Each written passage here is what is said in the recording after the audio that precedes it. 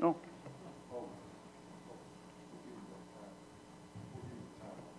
Okay. Okay, yeah, thank you. I appreciate that.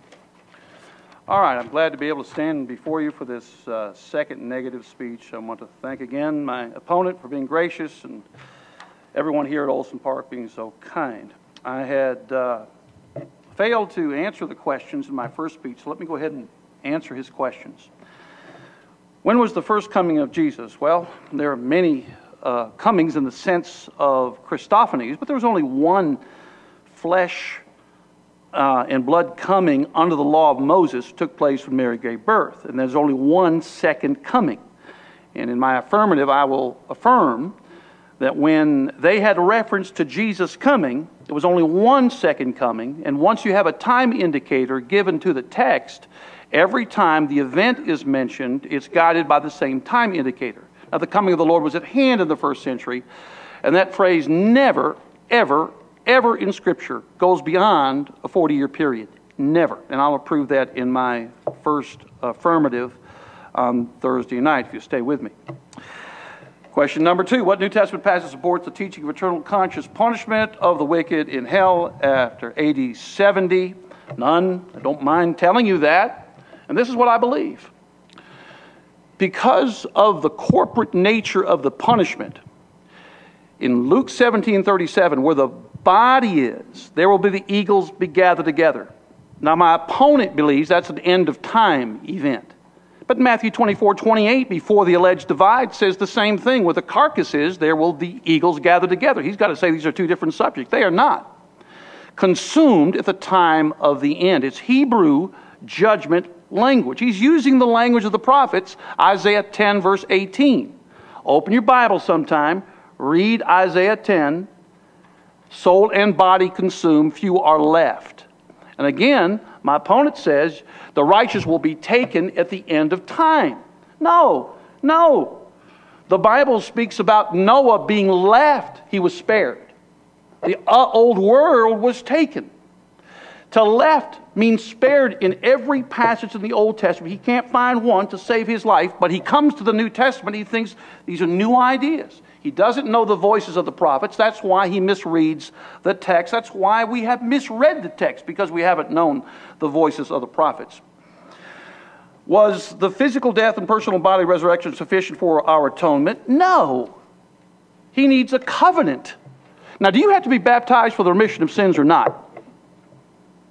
Do you have to be baptized for the remission of sins? You can just, you can just, yes. So it must be that there is some kind of response to the gospel, a death and a burial and a resurrection. Now, for 40 years they had a ceiling. When Peter says on the day of Pentecost, repent and be baptized, every one of you in the name of Jesus Christ for the remission of sins, and you shall receive the gift of the Holy Spirit, that gift was miraculous in nature. It was the gift and the promise of the Holy Spirit coming upon last days Israel. Not our last days, their last days. For 40 years, the Holy Spirit was given as a sealing, as a promise and a guarantee. In 2 Corinthians chapter 1, 22 and 23, we find that the sealing and the guarantee and the anointing referred to the Holy Spirit working. Now, the anointing is miraculous in Acts 10, verse 38. It's miraculous in 1 John 2, 26. For no one need teach you, you have the anointing. The sealing is the miraculous operation of the Holy Spirit given by the impartation of the apostles' hands. That's what it is. And it was promised for 40 years. The Old Testament has several uh, prophecies about this. Zechariah 13, 14, Micah chapter 7, Daniel 9, 24. The prophetic office would end in the face to face meeting of the Lord. 1 Corinthians 13. And so, then it's not a miraculous transformation at the end of time, it's a spiritual transformation at the time of the end. How would you prove Psalm 16 is a prophecy of the bodily resurrection of Jesus? Listen in Matthew 12 and verse 40, the bodily resurrection, physical part, was a sign. Okay? A sign is a symbol of a greater reality. Jesus died for our sins. When you sin, you die. That's the appointment, not physical death. It's appointed for men once to die. All have sinned and come short of the glory of God. That's your appointment. And Jesus meant the appointment because he died in spirit. And so when he cried, My God, my God, why have you forsaken me? It's the only time in Scripture where God addressed, Jesus addressed God without calling him the Father because he was giving up relationship with a father that he might establish sons. So on the cross, for the three hours of darkness, it was a demonstration that he was separated from his father. Then he goes to Hades as a result of having um, died while under the law, and then he will overcome the Hadean world, and he would be the first man in the new covenant. Now, according to my opponent in 1 Corinthians 15, verse 42, he says, Well, that's the physical body sown in corruption. Well, Jesus didn't know any corruption. He should have been sown corruption for 33 years. So that's an abject contradiction. I've demonstrated the casuistry of the argumentation of my opponent because he has Jesus being sown in corruption for 33 years. No, that's not correct. Corruption is the concept of corruption in a body. And the ancients spoke about a body. It was sown in corruption, the old covenant body. The Jews said, Oh no, the law will remain. Our old covenant body will remain. Oh no, no, no, no. It had to die. And it was being raised, present tense verb, in incorruption. It's simply a process of being bring to life, and it took place at the end, just like Daniel chapter 12. Brother Bruce, no New Testament writer is at liberty to take an Old Testament text out of context. It was spoken in a particular context. Sometimes there's a type, but Ephraim offended in Baal, Hosea 13:1, and he died. So the covenant people, the northern tribes, they sinned and they died. One day, through a three day resurrection, they would live again, ransomed from the grave. Now he says, Well, they were redeemed. They were redeemed. They had the forgiveness of sins. Forgive me, I get vituperative. My wife told me not to do that, okay? That's just my nature. I get a little excited. You're a good guy. Love you guys. Very reasonable. All right, they're redeemed. They have the forgiveness of sins. Then why, Brother Bruce, was not heaven open for them? If you are redeemed, what does that mean for you? It means the forgiveness of sins, you see. That's the only thing that keeps you out of God's presence, which I believe I'm in today. I believe if I live and by, believe in Him, I will never die. Because death for me as a Christian is overcome. The old covenant world is overcome, and I will never die. And I will live sequentially. And so when my physical life is over, I will continue to live on and on and on, and so will every faithful Christian. And that is our hope, and there's one hope, and there's eternal life.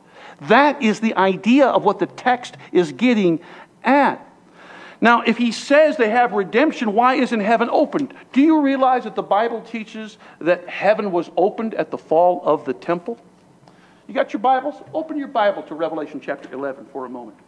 The book of Revelation is about the destruction of the city of Jerusalem. This concept that it was written in 96 AD came from a Catholic a scholar by the name of Caesar Baronius. That's where it came from. The Bible teaches miracles for 40 years. It had to have been written before the fall of the temple. Now, it was at hand in Revelation chapter 1, verse 3. It was at hand in Revelation chapter 22 and verse 10. They were shortly to come to pass in Revelation 1 1, shortly to come to pass in Revelation 22 and verse 6. That's an inclusio argument. That means everything within its contents were about to take place. Everything. Well, in Revelation chapter 11, let's see what happens here in verse 8. Their dead bodies will lie in the streets of the great city, which spiritually is called Sodom and Egypt, where also our Lord was crucified. Now, what city was Jesus crucified in? There's only one city he was crucified in, and that is Jerusalem. Now, notice what happens, please, in verse 12. This city falls. Then I heard a loud voice from heaven saying to them, Come up here. These are the two witnesses. My position is this is Peter and Paul. They are the witnesses. I don't believe that Paul died at Rome by Roman Catholic tradition. If you'll check the epistles, he's making his way back to Jerusalem and filling up the measure. Jesus said that it is not possible that a prophet would perish outside of Jerusalem, and they were filling up the measure. And all the righteous blood, shed from the foundation of the world, from righteous Abel to Zechariah, son of Barachias, whom you slew between the temple and the altar, would come upon this generation. And then that day of atonement would come, when the righteous saint would have their vengeance, and they were going to have it in a little while. Now, notice, this is the seventh angel sounding, verse 15. That's the last trump.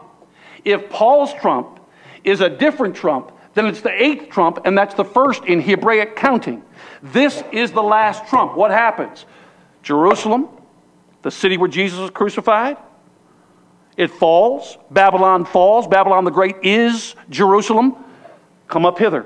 The last trump. Dead saints out of Hades. You see, in Hebrews 12 and verse 9, he will now bring us to the heavenly Jerusalem where the spirits of just men are made perfect. Your physical, biological body at this particular point does not harbor sin. It does not harbor sin. There's nothing wrong with your flesh and blood. It doesn't need to be transformed.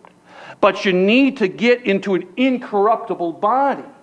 Now, what is the one body? It's the church. Question is, when did the kingdom, when was it consummated? Now, you remember in Daniel chapter 2, verse 44, in the days of these kings, God would uh, establish an everlasting kingdom that would never be destroyed. Well, Babylon and the Median Persian and the Grecian and the Roman, they occupied a land base. That land base would be occupied when the kingdom of God would arrive on the earth. That didn't take place at Pentecost. So this gospel would be preached to all the world for a witness, and then the end will come. The same end that Peter said was at hand. The same end that he speaks about a body being transformed. Let me give you a parallel passage Romans 8, verse 10. The body is dead because of sin. This is the old covenant body that died due to sin. Now the Spirit is sent into that body for the last day's transformation. And he would raise up their mortal bodies. Those are Jew Gentile distinctions which were coming to an end. They were looking for the glory which was about to re- be revealed. And in Romans chapter 8 and verse 23, they were looking for the redemption of our body. It was simply the process. It's not a different nature because in Romans chapter 9 and verse 4, the redemption belongs to Israel. So Israel dies. Holy Spirit's given for the last days, bringing it back to life. So when is the kingdom established? The kingdom is consummated. Jesus said, that the kingdom, and Jesus only spoke about the kingdom with one particular event. All the other scriptures have to do with that hand, and some of you will not taste of death. And he meant by that, most of you will taste death. Some of you will not taste of death until the kingdom comes. He's making a 40 year prediction. And Jesus says in Luke 21 31, when you see these things come to pass, know the kingdom of God is nigh at hand. Now, I know what you've taught. You've taught that Mark 9 1 is Pentecost. It means no such thing. And Mark 8 38 and Mark 9 1 belong together. The coming in the glory, the coming in judgment, and the kingdom are together. What did Jesus say in Luke 21 27? Then you will see the Son of Man coming in the clouds with power and great glory. Then your redemption draws nigh. If that coming is spiritual, then the redemption is spiritual. And in verse 31, that kingdom is spiritual. In Luke, in uh, Revelation chapter 12, 10, then comes uh, salvation, strength in the kingdom. That's the second coming of Christ. It was a spiritual idea. The Jews missed Jesus in his first coming because they were looking for someone to rule over their enemies in a physical way. My opponent and my uh, friends at this table miss the second coming of Jesus for the same reason. They're looking for physical, fleshly promises, and they are not. Romans 8 and 1 Corinthians 15 are parallel texts, and those promises belong to Israel. Now, he believes that redemption, redemption, again, he said, was complete. Why can't you go to heaven? Please answer why you can't go to heaven. See, I believe in the proleptical approach. The sealing is the guarantee. You know what the word guarantee means in the original language? It means they used it for a uh, engagement ring. It's a seal, a pledge. The Holy Spirit was the guarantee that the full payment of the same amount uh, or the same kind of payment would be completed the redemption of our body. Not your physical body doesn't need to be redeemed. They were being redeemed in a body, that's true, and I believe in a bodily resurrection. When uh, Paul says, and he's talking about his opponents, and they are Judaizers, what body do they come? Plural pronoun, singular subject. And Paul has to tell them that that old covenant body was being ensouled in corruption. And the law will have to come to an end. And then he talks about this future present idea, and then you make fun of the prolepsis that I'm making. So he makes up a definition for a term in order to de- de- de- decry or, or to tell about the strength of sin is the law. Listen, The strength of sin is the law of Moses. And that came to an end at the fall of the temple by means of the cross, but certainly not at the cross. And Paul participating with animal sacrifices in Acts 21 20 through 26 is absolute proof that the law continued. The law is like a civil law, by the way. All right? It can condemn you, just can't save anyone. You still had to keep it. Suppose you, suppose you got a young man, 18 years old, he goes through a, a school zone 100 miles an hour. He sins, doesn't he? Sure, he does. Suppose he obeys the gospel. Well, okay, now he's justified. Now, can he continue? Can he continue the speed? No, he's got to obey his civil laws too, and civil law changes from, from nation to nation. That's the way the law operated for the Jews. It could condemn them, just couldn't save anybody. That's why he participates with the animal sacrifices in Acts 21. It's the only logical reason. It's the only way it could possibly work because Paul was living in all good conscience before God until that day, Acts 23, verse 1, and he wrote the book of Romans before he goes into Jerusalem, proven by Romans 15, 31. And I'm going too fast. All right. So in 1 Corinthians chapter uh, 15, Paul is speaking about the transition of the covenants. He's denying the words of the Judaizers.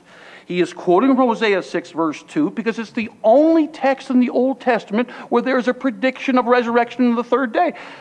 Brother Reeves, if he's not quoting from uh, Hosea 6, you find the scripture, and he is talking about the Old Testament he's arguing from a codified whole of the Old Testament according to the scriptures. And so Israel would be saved by a three day resurrection. If you deny the resurrection of the dead ones, by implication, you deny the resurrection of Christ. But they weren't denying the resurrection of Christ. But you see, if they said the dead ones won't come out of Hades, then he didn't come out of Hades, but he came out of Hades. Therefore, they'll come out of Hades, and the law will end. Now, that's the argument that he's making, Brother Bruce. And because you've been reading these commentaries, and I know full well how you study, brother, I love you, I did the same thing.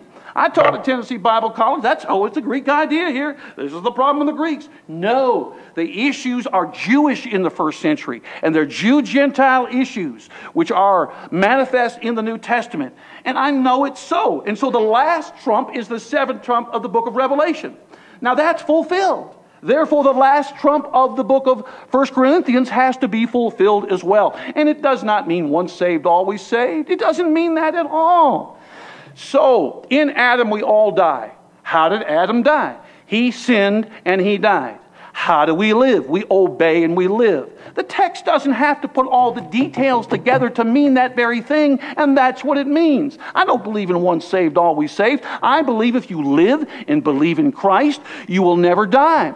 And I don't think you go to Hades where the Old Testament saints went and they got in there with the blood of goats and animals, and then he says, somehow I take away redemption, I took away their salvation.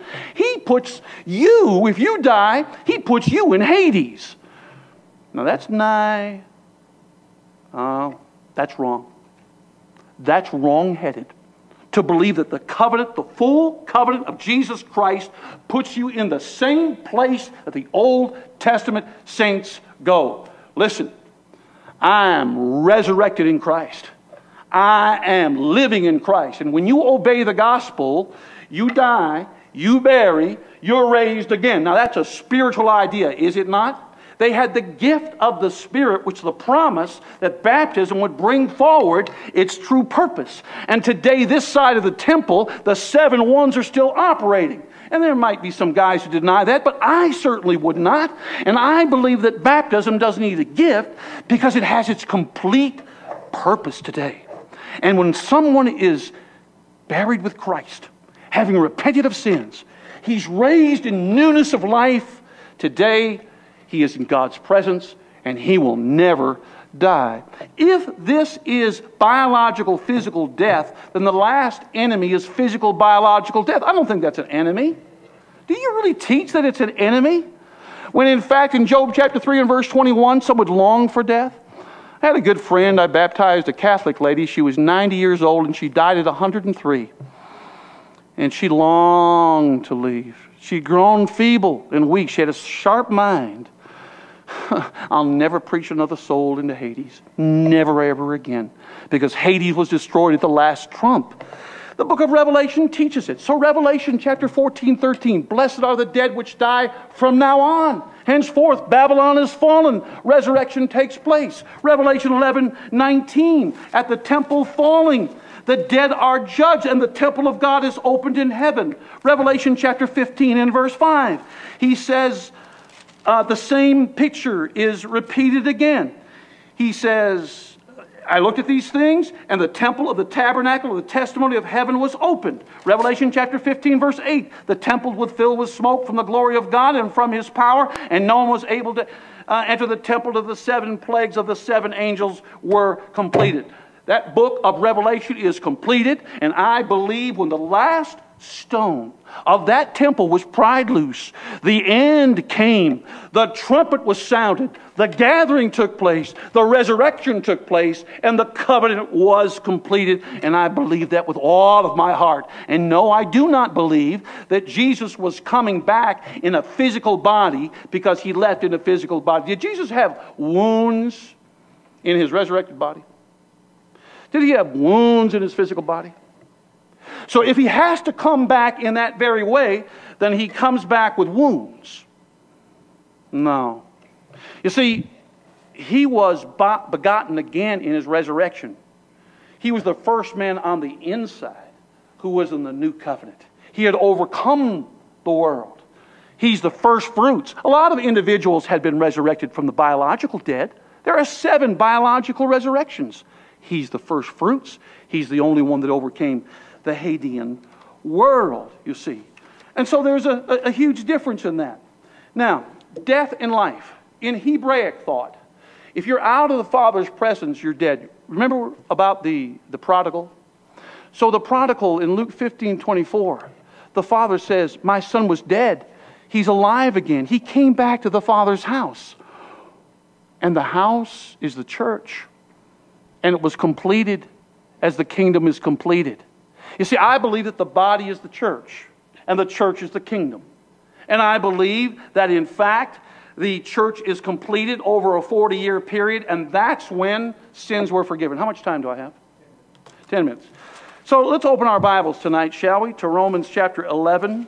And we're going to find out when God says the remission of sins was given, and when remission of sins was promised through the sealing of the Spirit was the guarantee that would come. So let's see what the Bible says here in Romans 11 25 through 27.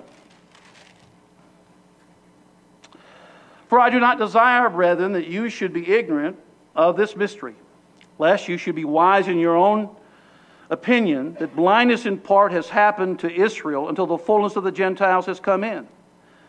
In Luke 21 and 24, the fullness of the Gentiles is that last three and a half year period where they punished the Jews. That's where, where it was. Now, notice what he says. And so all Israel will be saved. That is, as the Gentiles, they will be saved. As is written, the deliverer will come out of Zion, and he will turn away ungodliness from Jacob. And this is my covenant with them when I take away their sins. That was their future. He's quoting from Isaiah chapter 27, and he's quoting in context. He's not making up some new meaning. He is quoting in context. Please notice Isaiah chapter 27, please, and we'll see when the fruit of taking away his sin will finally be uh, accepted. So in Isaiah chapter 27, the Bible says, Therefore, by this the iniquity of Jacob will be covered. And this is all the fruit of, of, of taking away his sin. When he makes the stones of the altar like chalk stones that are beaten to dust, wooden images and incense altars shall not stand. Yet the fortified city will be desolate. Now ask yourself the question what's the fortified city? And when will the fortified city be desolate? Because he doesn't know the voice of the prophets. He thinks Paul is making out new context out of Old Testament texts, and they are meaning no such thing.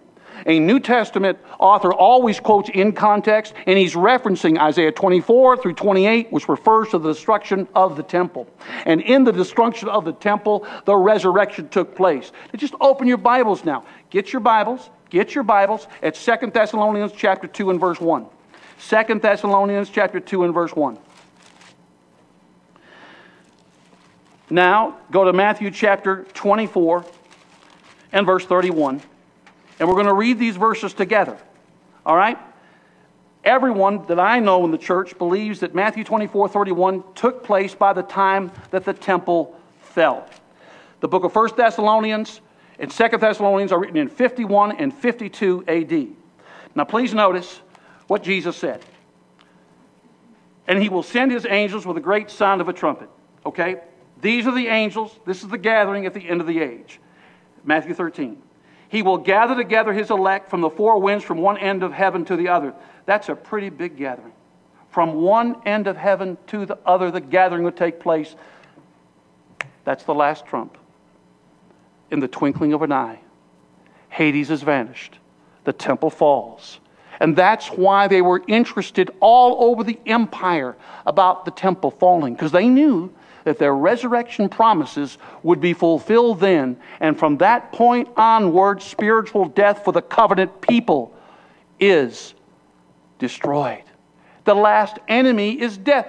Christians, you don't. Biological death's not your enemy. It's not your enemy. It's your friend sometimes. And so if somebody is in Christ, he will live and he will believe in, in him. He will live and, and never die. Jesus said. So now look at 2 Thessalonians 2 1. Now, brethren, concerning the coming of our Lord Jesus Christ and our gathering together to him, he's talking about the same gathering.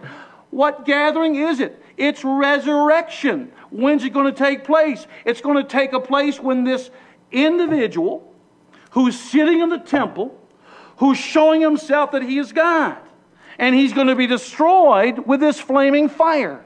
It's the same language of the prophets. It's Isaiah 66, 15 and 16. He's coming with flaming fire, with chariots. It's Hebrew hyperbole, is what it is, because there's a man sitting in the temple causing the persecution. Five minutes? Well, let me go on just for a moment. Who's this man sitting in the temple? Because when that man sitting in the temple is destroyed, resurrection and gathering takes place. You know what our brethren have taught? That's the Pope. Oh, I'm sorry. That's just ridiculous. Revelation 13, 18, it's the 666 man. The sea beast is Rome. The land beast is Judaism. Six is a temple number. Some years ago, two, three years ago now, maybe four years ago now, I decide the 666, Neron, Caesar, Wallace said, you know, I said, hey, how would you know this unless you knew history? I said, I'll bet, I'll, I'll, I'll guess. I'm not a betting mind. I, I'm, I'm using this hyperbole. I'll guess that that number's in the Old Testament. I could figure it out the Old Testament. So one morning I got in my office, stayed in my office all day, and I looked up 6, 60, and 666, and I found something pretty extraordinary. That 666 talents of gold is the temple land tax, 1 Kings 10.4. That the priests live in six by six compartments that in fact there are 60 pillars in the temple, that there are these walls that are 18 cubits high, 666. I can go on and on. It's a temple number. If you're a Jew in the first century, you're thinking, man sitting in the temple, he's the high priest. What did Jesus say? You will see the Son of Man coming at the right hand of power. He's using national judgment language, just like Isaiah used in Isaiah 19:1. The Lord rides on a swift cloud. It was but he came through Sargon of Assyria, of Isaiah chapter 20. And so that's the last trump. This all fits together. Resurrection takes place at the time of the end, but not the end of time. There's one end, and the end of all things was at hand. My futurist folk over here, and they're good guys, I know they're, they're good in, in many ways, they got more ends than old McDonald. Here an end, there an end, everywhere an end, end. Well, here's the end of the Jewish system. Here's the end of somehow gospel evangelism in the first century? No. There's one end spiritual gifts to the end. Again, let's look at 1 Corinthians 1 6 through 8. Same thing. It's the same thing. Miracles for 40 years. The Old Testament teaches that in at least three passages, probably more that I haven't discovered yet. So in 1 Corinthians 1 6 through 8, either Jesus returned or you've got spiritual gifts. And if you've ever met any Pentecostal who knows his doctrine, he's going right to this text. 1 Corinthians 1 6 through 8. Even as the testimony of Christ was confirmed in you, so that you come short in no gift, eagerly waiting for the revelation of our Lord Jesus Christ. That's the coming. That's the apocalypsin, okay? That's the revealing of Christ, who will also confirm you to the end. Now, That's not the gifts. I debated a man who said he confirmed them. Also, that's one saved, always saved then. He's confirming them with the gifts unto the coming of the Lord. What happens in Joshua chapter 5? 40 year transition. The manna ceases. Who does Joshua meet? He meets the man with the outstretched sword. Josh, he's told, he tells Joshua, Take the shoes off your feet, for the place that you stand is holy. He met Jesus. That's the type, 1 Corinthians 10. Miracles for 40 years, meeting the Lord, then the end comes. And there's one great end. Not different ends in different contexts. There's one great end. Paul speaks about this end, and in 1 Corinthians 15 23, he writes a letter. It's the same end. Then in 1 Corinthians, one minute, thank you. Then in 1 Corinthians 16 22, look what he says here. And this is what I wrote my book about. So he says, If any man love not the Lord Jesus Christ, let, uh, let him be anathema. Aramaic expression, Maranatha. That is a quotation from the Syriac, the Aramaic translation of the Old Testament in Malachi chapter 3 and verse 1, and he was coming quickly to his temple. Why did that affect the church at Corinth? Because the Jewish persecution was rife. All the Jewish leaders went to that last Passover feast where all the bullies on the block were, and Jesus destroyed every single one of them. And when he did, he opened heaven, and Hades was overcome, and the law ended, and now I live in an everlasting kingdom, which is an everlasting body. And if that kingdom can't be destroyed, then the imperishable body is with me. The body, I believe the body's the church. The body's the kingdom. The kingdom is the body. And the body are those who are redeemed in Christ. It is a covenant body at the time of the end that was transformed, not a physical fleshly body at some time in your future. And so the coming of the Lord was at hand then at that particular time. And they overcame the death that was simply reigning through the law, and the law was overcome by the gospel. And the gospel was finally inaugurated when the kingdom came, and the kingdom came. Luke 21 31, the only time where Jesus spoke about the kingdom with a specific event. So let Jesus have first place in your eschatology. Allow Jesus to be your interpreter, and you can see the reality of these things. And I think that's about time.